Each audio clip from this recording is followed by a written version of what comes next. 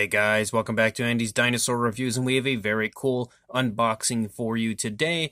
It's a box full, well not super full, there's only a few figures in it, so it's not a huge unboxing or anything, but it was something that I thought was really cool as I just purchased a few Dino Riders figures, the Tyco Dino Riders. Figures were a very, very important part of dinosaur figure history, and I don't have all that many of them, and I would love to start to get more of them. So I saw an opportunity as far as someone had a listing of some dinosaur toys, as they put it, uh, fairly locally, and it was only about 20 bucks for all of them, which isn't really all that many figures again, but for the fact that they are Dino Riders, they're a really, really cool, very rare line of dinosaur figures that can, you know, run you a bit much in price. So I was really happy to be able to acquire a few different Dino Riders figures for only around the $20 range. It also came with a few other figures, which are these guys right here and this guy right here. I think this is some sort of a McDonald's figure. I don't know much about that at all. I also don't really know exactly what these guys are. I mean, obviously this is a lizard here that we have. They're definitely nothing special as far as the figures go. It's nothing that I would say was a great deal to have included. We've got kind of like a little Rhamphorhynchus type of a figure here. Nothing special with that guy either. And then there's also kind of like a little rubber, sort of a goofy looking dinosaur. Not entirely sure who he's even meant to represent. And then there was also this kind of a Pteranodon, sort of bendable Pteranodon. He's very strange, very goofy looking. He's got kind of like bendable legs. Definitely not the best figure either, but all of these guys were also included. Oh, wait, we've also got this guy back here. He was hiding. So we've got a little Dimetrodon as well. Nothing special with any of these, but they were included, so I figured I would show you guys. But now we get to the good stuff, and that would be the Dino Riders figures. So the first one that we have in here is the Dimetrodon, and I do actually have the Dimetrodon, so this is an extra now, and I am happy to have numerous of a few of these as anytime I can get doubles of something as rare as a Dino Riders figure, I'm definitely excited about it. And I overall am a very big fan of this particular sculpt of the Dino Riders line. Like, I really like the Dimetrodon from this line. And although this one definitely has some paint where you can see some paint chips and everything are taken off of it, it's still in fairly decent shape. The kind of biting feature actually still works and everything. So really cool figure that I'm happy to add a second of into my collection. And then there is also the Styracosaurus, which is also a figure that I already had as far as the Dino Riders figures go. Still a really nice looking figure overall. Definitely a fan of this Styracosaurus. And this one's actually in pretty good shape. I mean, you could definitely see some paint wear on the spikes and stuff of the Styracosaurus, but overall it doesn't look like he's got anything horrible going on as far as paint wear goes. And again, another figure that I did have, but I'm happy to have a second of regardless, especially again, being a Dino Riders figure. We also have this pterosaur that was included, which I do believe I already have potentially. I think I got this one in that really cool box that I had where I scored a bunch of really cool, very rare figures for a good price. And I think this one was in there, so I may now have two of that one, but I'm not positive. And the other figure that I did already have would be the Deinonychus, which is a pretty fun figure. This guy, unfortunately, now I knocked him over, but this guy, unfortunately, does have the tail broken off, and that is one aspect of these figures. Again, they're not in the greatest shape, and there's actually one dinosaur in here I didn't have that I was really happy to add to my collection, and unfortunately, quite a bit of it is broken, which I wasn't aware of previously because the images of the actual figures were like really blurry. I couldn't really see exactly what was going on in the images, but again, this one I do have, so I don't mind the missing tail, the missing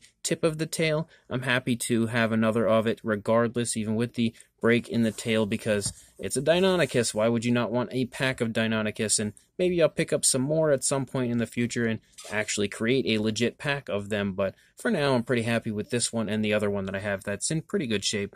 And now, as far as the figures that I definitely did not have, as far as the Dino Riders figures go, there is another figure in here that I did already have. That's not even a Dino Riders figure, but you can see I got a really cool Pteranodon. As far as the Tyco figures go, the Dino Riders figures go, he's definitely not the best as far as the Dino Riders sculpts or anything, but still a pretty fun looking Pteranodon. He's got some pretty decent articulation and stuff to him, and it's definitely a figure that I did not have prior to this, so I'm really happy to now have. And then there is also the Ankylosaurus, which is one that I also did not have, and I'm really happy to now have included in my collection. And this one's actually in pretty good shape for the most part. I don't really even see any like paint chips or anything really. I mean, maybe some small ones, but nothing that I feel like is a big issue for the figure. So really happy that this guy is in pretty decent shape. Unfortunately, they don't have any of like the seats or anything that go on the figures except for one. But I also don't have any of the Rulons or the Valorians or anything like that. So something that I'll have to look for in the future. But here is one of the biggest figures that was included, probably the biggest actually, aside from that one figure that I said I did have, which I will show you in just a second. But this is the one that was also broken, which is really a big bummer because when I had kind of seen like this one sitting within the group, I thought, wow, that's the Edmontonia from the Dino Riders line. Like, I really wanted to get it. Although it's not the figure, there's two figures in here that I really wanted more than anything else. And those ones are in pretty good shape. So I am still happy about it. But you can see that the spikes here on the side of the Edmontonia are broken. Quite a bit of them. You can see these guys here are broken. These two are broken, and then the opposing side is even worse. So obviously, whoever had these figures did play with them, which makes sense. They did have a good time with them, and I'm really happy to have it regardless, even with the breaks in it. And maybe if eventually I might pick another one up. Who knows? We'll just have to wait and see. If a good price for one, you know, arises, I may pick it up again just because I would like to add one that's in really good shape into my collection, but I'm really happy to have it regardless, and it's a really nice looking figure.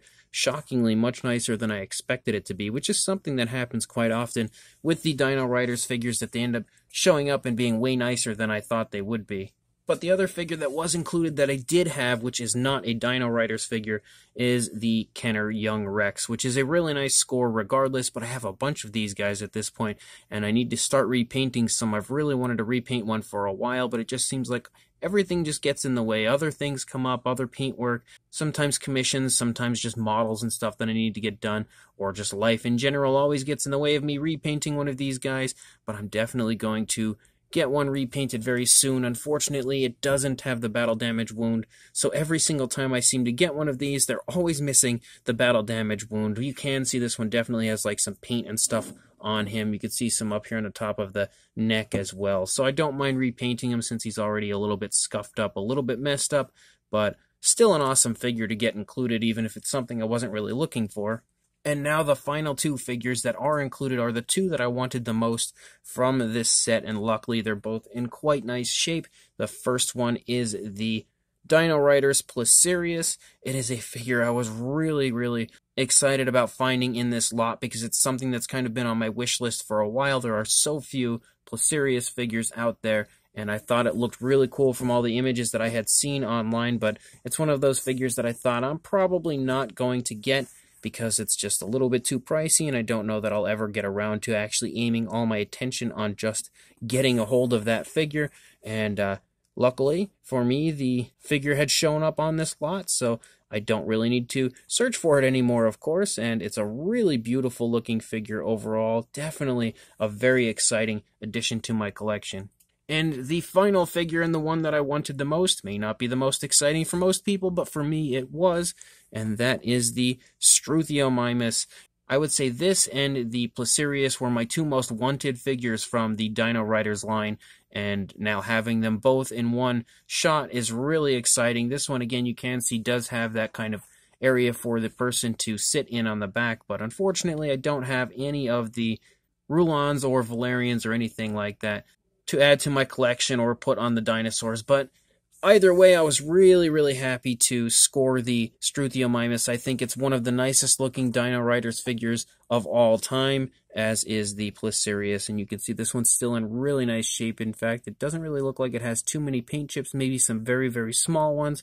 But for the most part, it is a really beautiful figure in really nice shape. So these are my newest additions to my collection as far as the Dino Riders figures go really, really awesome stuff. I'll have to keep my eyes out, keep kind of searching out more Dino Riders figures in the future and add more to my collection over time as there are still quite a few that I would need to get a hold of, actually a ton that I would need to get a hold of, but still some pretty darn cool stuff regardless. So make sure you like, comment, and subscribe, and I will see you in the next video. Thanks for watching.